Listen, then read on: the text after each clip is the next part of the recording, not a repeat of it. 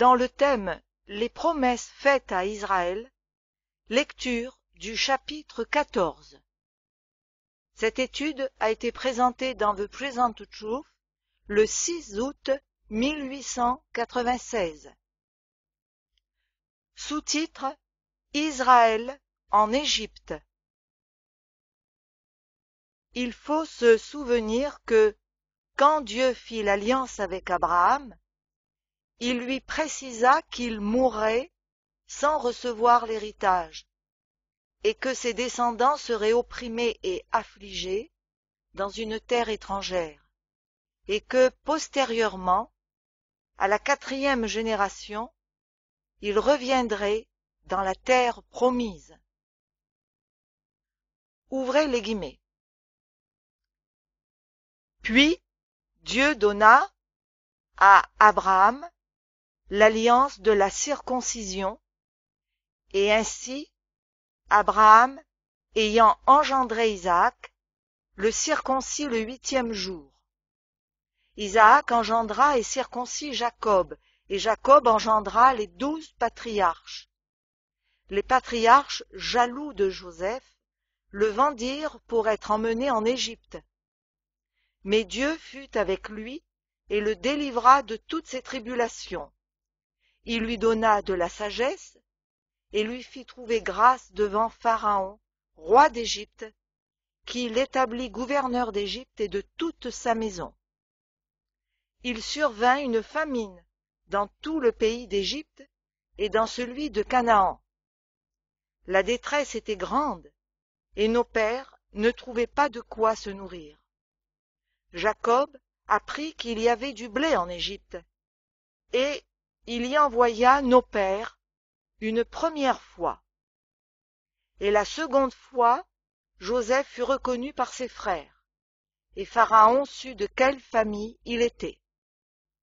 Puis Joseph envoya chercher son père Jacob et toute sa famille, composée de soixante et quinze personnes.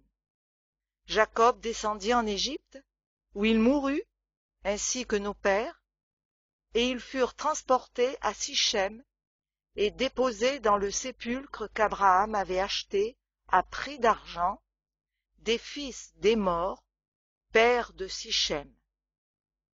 Le temps approchait où devait s'accomplir la promesse que Dieu avait faite à Abraham, et le peuple s'accrut et se multiplia en Égypte, jusqu'à ce que parut un autre roi qui n'avait pas connu Joseph, ce roi, usant d'artifices contre notre race, maltraita nos pères au point de leur faire exposer leurs enfants pour qu'ils ne vécussent pas.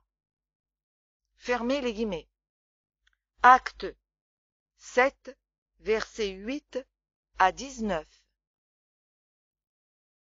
Le roi, qui n'avait pas connu Joseph, était d'une autre dynastie, il appartenait à un peuple qui, venant de l'Est, avait conquis l'Égypte. Ouvrez les guillemets. Car ainsi parle l'Éternel. C'est gratuitement que vous avez été vendus, et ce n'est pas à prix d'argent que vous serez rachetés. Car ainsi parle le Seigneur, l'Éternel.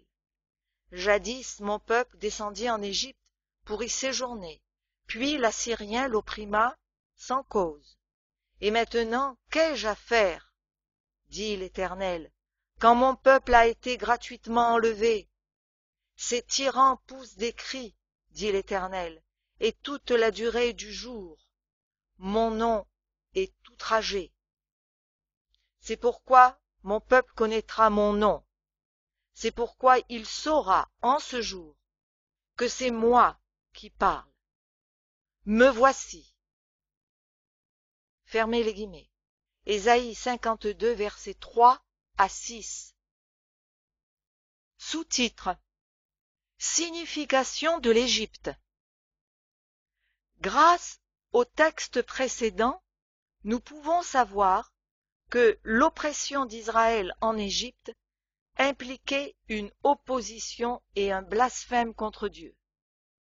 La rigueur de cette persécution avait une relation directe avec le mépris de l'Égypte envers Dieu et sa religion. Il est aussi évident que la libération d'Égypte est un acte identique à la libération expérimentée par celui qui est, ouvrez les guillemets, vendu au péché, fermez les guillemets. Romains 7, 14. Sachant que ce n'est pas par des choses périssables, par de l'argent ou de l'or, que vous avez été rachetés de la vaine manière de vivre que vous aviez hérité de vos pères, mais par le sang précieux de Christ, comme d'un agneau, sans défaut et sans tache. Fermez les guillemets. 1 Pierre, versets 18 et 19 au chapitre 1. Aussi, une brève étude de ce qu'est l'Égypte dans la Bible et de la condition des Israélites lors de leur séjour là-bas nous aidera à comprendre la signification de leur libération. Sous-titre L'idolâtrie de l'Égypte. Parmi toutes les idolâtries des temps anciens, l'égyptienne était sans aucun doute la plus grossière et complète. Le nombre des dieux égyptiens était tel qu'il était presque impossible de les compter, mais chacun d'eux avait une relation plus ou moins directe avec le soleil, comme dieu principal. Ouvrez les guillemets. Chaque ville égyptienne avait son animal sacré ou fétiche, et chaque ville avait ses propres divinités, selon l'encyclopédie britannique.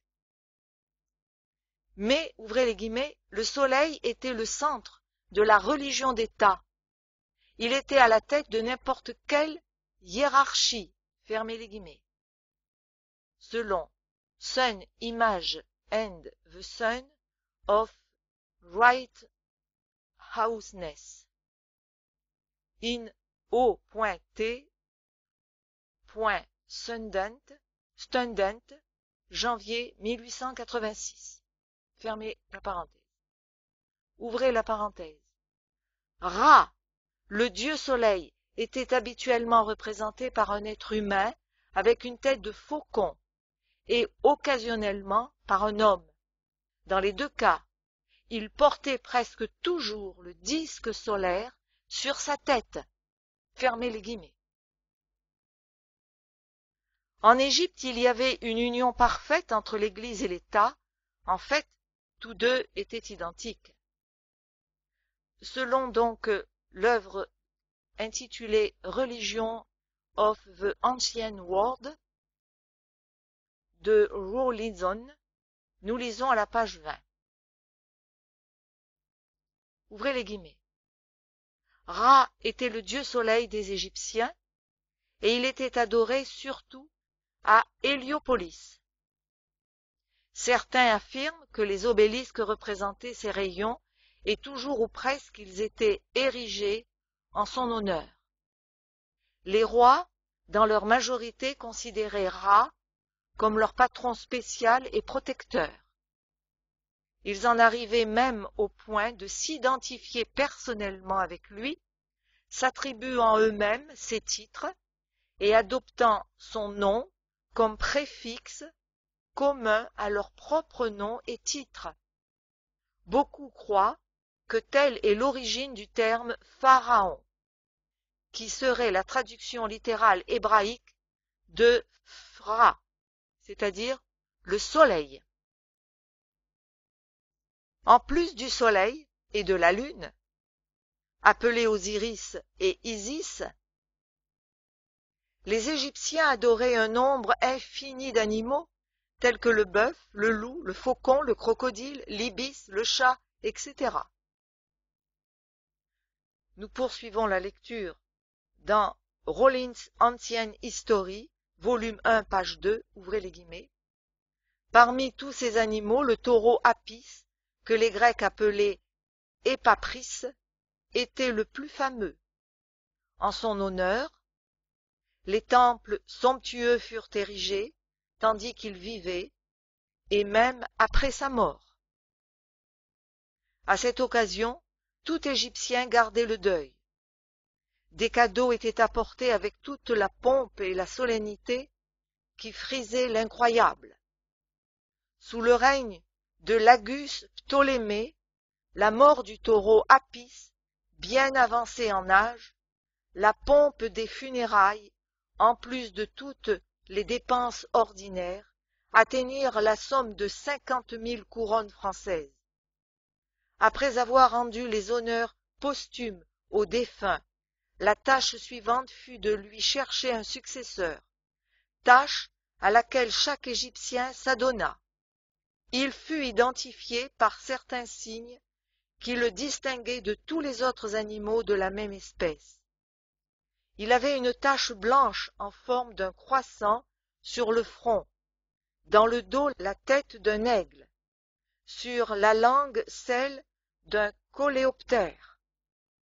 Dès qu'il fut trouvé, les pleurs cédèrent le pas à la jubilation et on n'entendit rien d'autre dans toute l'Égypte excepté des bruits de fête et de réjouissance.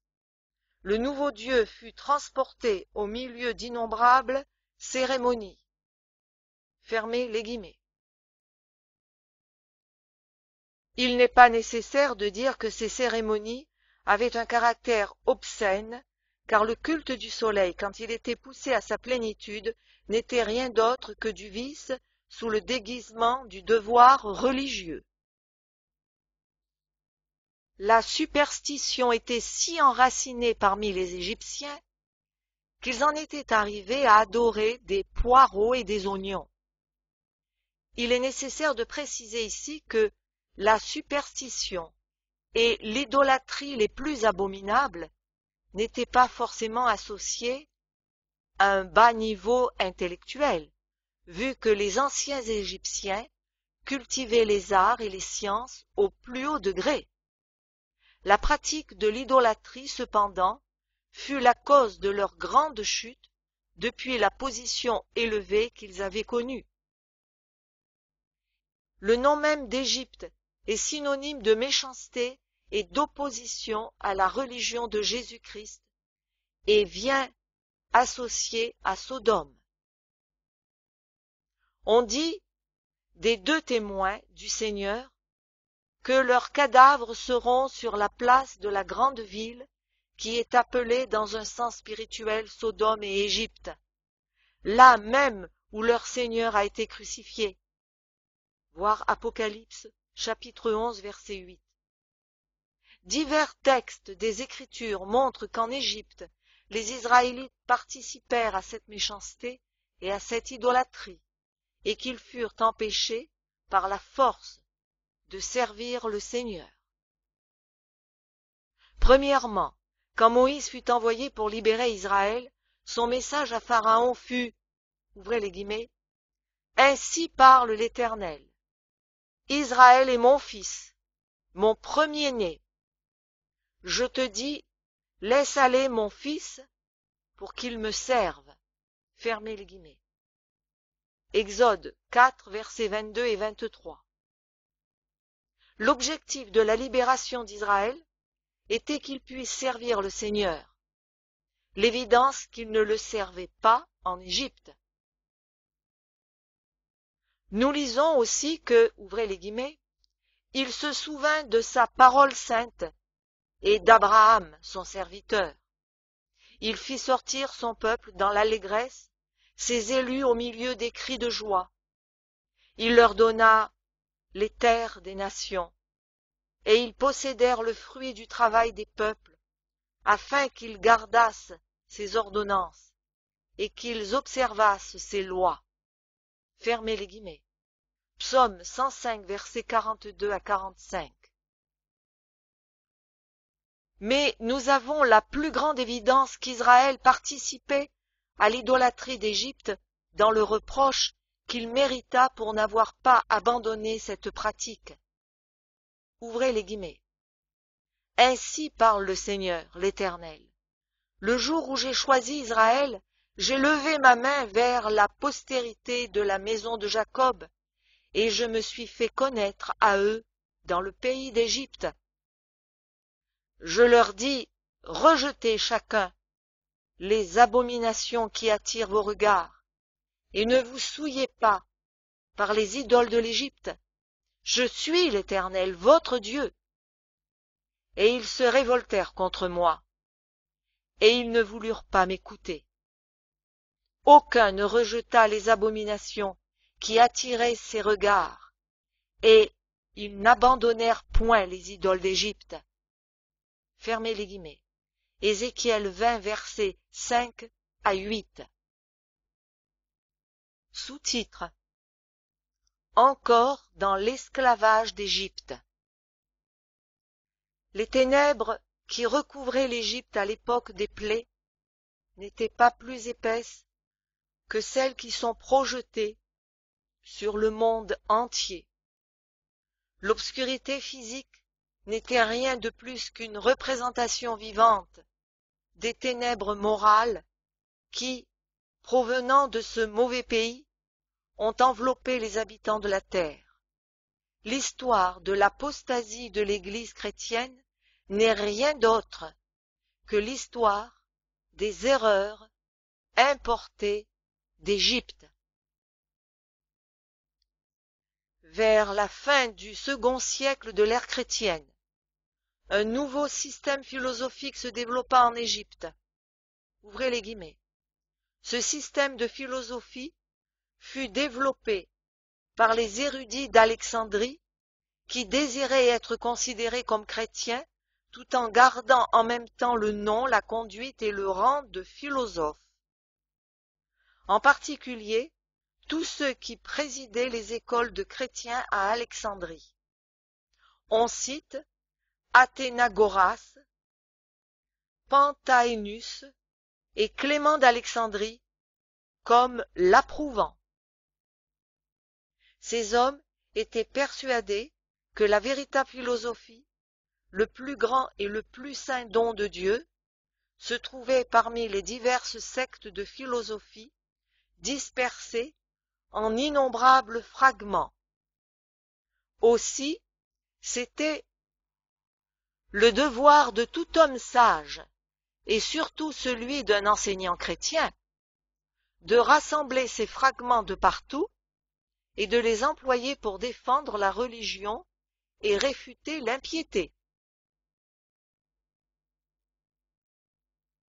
Nous allons lire un passage pris dans Moshems ecclésiastique historique 100.2 Partie 2, chapitre 1, sections 6 et 7.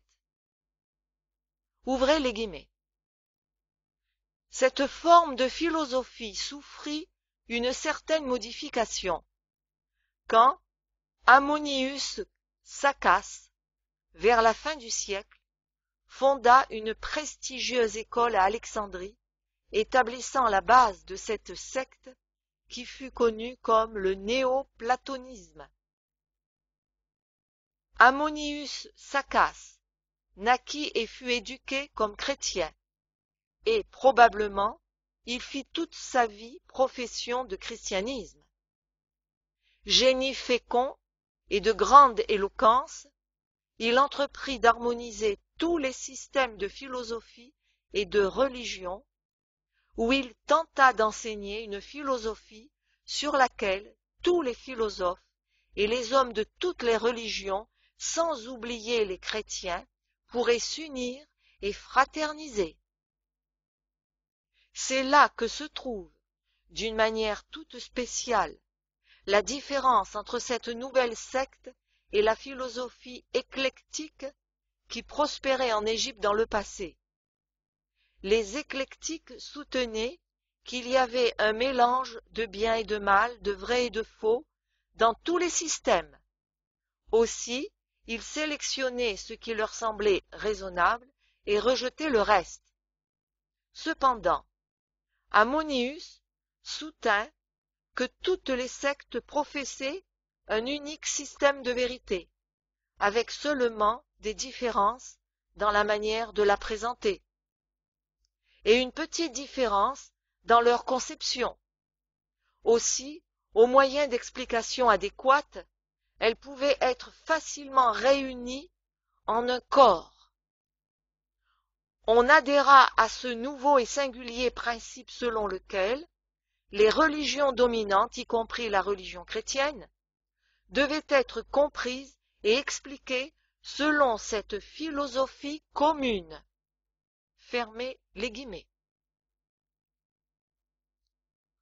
On cite Clément d'Alexandrie comme étant un des maîtres chrétiens dévots de cette philosophie. Mosheim nous dit que, ouvrez les guillemets, il faut situer Clément parmi les premiers et principaux défenseurs et instructeurs de la science philosophique. Il faut vraiment le placer à la tête de ceux qui s'adonnèrent à la culture de la philosophie avec un zèle qui ne connaissait pas de limite. Et il était si aveugle et si mal avisé qu'il s'embarqua dans la vaine entreprise d'atteindre l'harmonie entre les principes de la science philosophique et ceux de la religion chrétienne. Section 25, note 2. Il faut ici se souvenir que la seule philosophie qui existait était la philosophie païenne. Et il n'est pas difficile d'imaginer les inévitables résultats d'une telle dévotion de la part de ceux qui enseignaient dans l'Église chrétienne. Grâce à Mosheim, nous savons que, ouvrez les guillemets, les disciples d'Ammonius et plus particulièrement Origène, qui dans le siècle suivant, c'est-à-dire le troisième siècle, a atteint un degré d'éminence difficilement imaginable, firent scrupuleusement pénétrer les doctrines qui étaient dérivées de leurs maîtres dans les esprits des jeunes dont l'éducation leur avait été confiée, et à leur tour, par les efforts de ces derniers, qui postérieurement furent dans leur majeure partie appelés au ministère, l'amour de la philosophie se diffusa dans un secteur considérable de l'Église. Fermez les guillemets. Origène était à la tête de l'école de catéchèse ou séminaire théologique d'Alexandrie, qui était le siège du savoir. Il fut à la tête des interprètes de la Bible de ce siècle. Et il fut étroitement imité par les jeunes formés dans ce séminaire.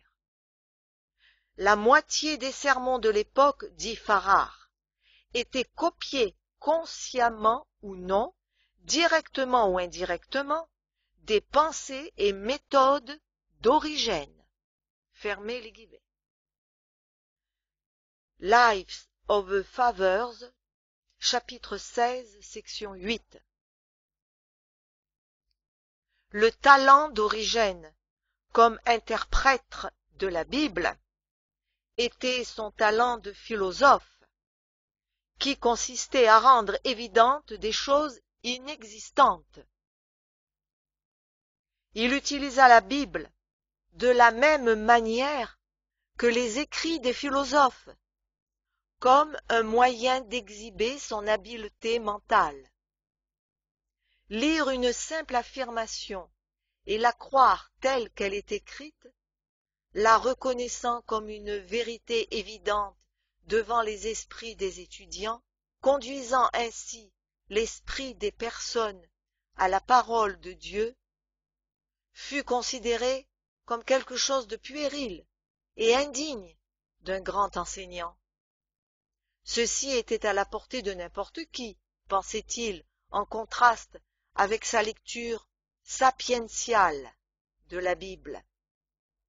Son œuvre semblait consister à extraire des écritures sacrées quelque chose que les gens du commun ne rencontreraient jamais, pour la simple raison qu'elle n'y était pas, vu qu'elle était uniquement l'invention de leur propre esprit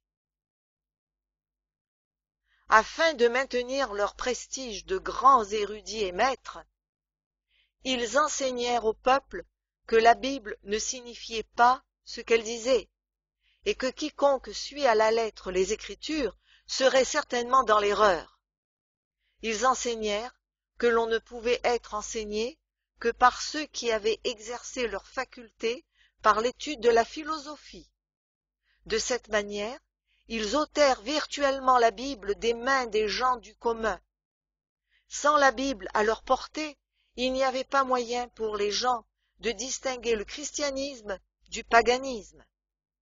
Le résultat fut que, non seulement ceux qui professaient déjà le christianisme furent dans une grande mesure corrompus, mais les païens accoururent à l'Église sans changer leurs principes ou leurs pratiques. Ouvrez les guillemets.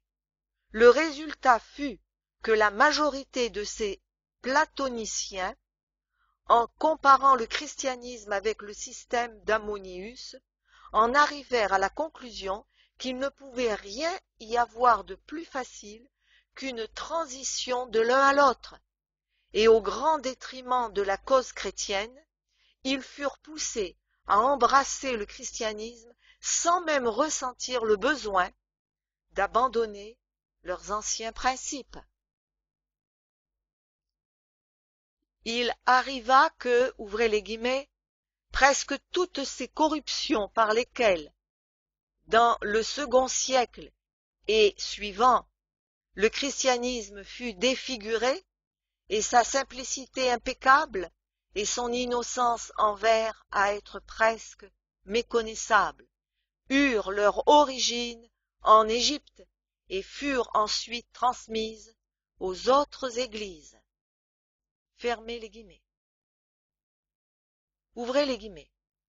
En observant cela en Égypte, ainsi que dans d'autres pays, les adorateurs païens, en plus de leurs cérémonies religieuses publiques auxquelles tous étaient admis, avaient certains rites secrets très sacrés, auxquels ils donnaient le nom de mystères, et à la célébration desquels seules les personnes, à la fois la plus éprouvée, pouvaient assister.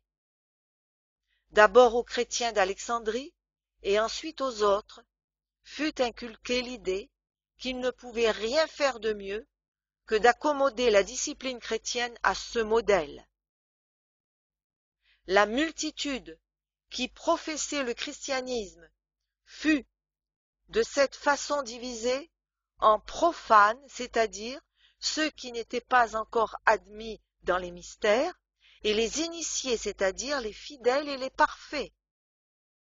À partir de cet état de choses, il arriva que non seulement beaucoup des termes et des phrases employées dans les mystères païens furent appliqués et transférés aux différents aspects de l'adoration chrétienne, particulièrement dans les sacrements du baptême et de la scène du Seigneur, mais aussi dans plusieurs cas, les rites sacrés de l'Église furent contaminés par l'introduction de diverses formes et cérémonies païennes. Fermez les guillemets. Sous-titre L'appel à sortir d'Égypte. Il n'est pas nécessaire d'énumérer les fausses doctrines et les pratiques variées qui furent de cette façon introduites dans l'Église. Il suffit de dire qu'il ne resta pas une seule chose qui ne fût corrompue. Et il n'y eut pratiquement pas de cérémonie ou de dogmes païens qui ne furent adoptés ou copiés à un degré plus ou moins grand. La parole de Dieu ayant été obscurcie de cette manière, l'inévitable résultat fut une époque de ténèbres, le Moyen Âge, qui se poursuivit jusqu'à l'époque de la Réforme, époque où la Bible fut à nouveau restituée aux mains du peuple, permettant ainsi qu'il puisse la lire par lui-même. Une véritable réforme ne s'achève jamais, mais après avoir corrigé les abus qui la motivent en premier lieu, elle doit avancer dans le travail positif.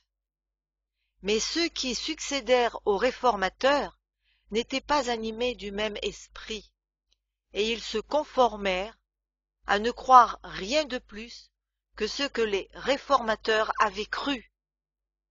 En conséquence, la même histoire se répéta. On en vint à recevoir la parole de l'homme comme celle de Dieu, ce qui fit que les erreurs demeurèrent dans l'Église. Aujourd'hui, le courant prend un sens descendant, prononcé, en résultat de l'acceptation majoritaire de la doctrine de l'évolution, ainsi que l'influence de la dénommée haute critique, entre guillemets. Il y a quelques années, l'historien Marival, doyen de Élie, dit, ouvrez les guillemets, le paganisme n'a pas été extirpé mais assimilé, et le christianisme en a souffert depuis lors, à un degré plus ou moins grand. Fermez les guillemets. Il est facile de voir, par ce bref exposé, que les ténèbres qui, à n'importe quelle époque, ont recouvert la terre, et la grande obscurité qui enveloppe les gens, sont les ténèbres de l'Égypte. Dieu ne se dispose pas seulement à libérer son peuple de l'esclavage physique, mais des ténèbres spirituelles, qui sont bien pires encore. Et vu que ces ténèbres persistent encore dans une grande mesure, l'œuvre de libération continue d'avancer. Les Israélites d'autrefois, ouvrez les guillemets, tournèrent leur cœur vers l'Égypte, fermez les guillemets, acte 7, verset 39. Tout au long de leur histoire, ils furent mis en garde contre l'Égypte, ce qui met en évidence qu'à aucun moment ils ne furent libres de son influence ruineuse. Christ vint sur la terre pour libérer les êtres humains de toutes sortes d'esclavage, et dans ce but, il se plaça au maximum dans la position de l'être humain. Il y avait donc une profonde signification dans la fuite de Jésus en Égypte, afin que puisse s'accomplir ce qu'avait dit le Seigneur par le prophète, ouvrez les guillemets. J'ai appelé mon fils hors d'Égypte. Matthieu 2, 15, Osée 11, verset 1. Vu que Christ fut appelé à sortir d'Égypte, tous ceux qui sont à Christ, c'est-à-dire tous les descendants d'Abraham, doivent être appelés à sortir d'Égypte de la même manière. Telle est la tâche de l'Évangile